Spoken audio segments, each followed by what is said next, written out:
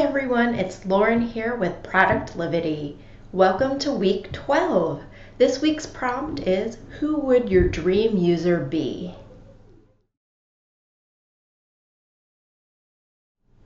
There are two ways to think about who your dream user might be. If you're a consumer company, I want you to think about a real person. It could be somebody in your neighborhood, it could be a friend, it could be a celebrity. If you're a B2B business, I want you to think about a company that would be your user.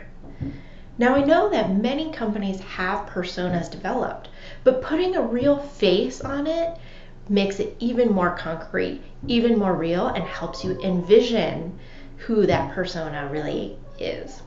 When I was at care.com, I used to think about some of the famous moms that are out there.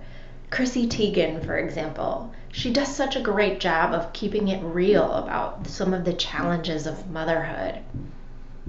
Michelle Obama, she raised two kids under the biggest spotlight in the world, and somehow they came out still grounded.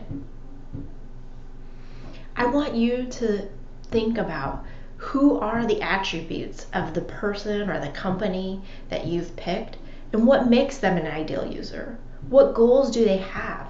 And how can you help them?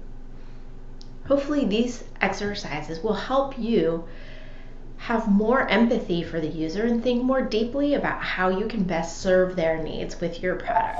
If you enjoyed this episode, then please subscribe to my channel and share it with your friends that you think could also benefit from it.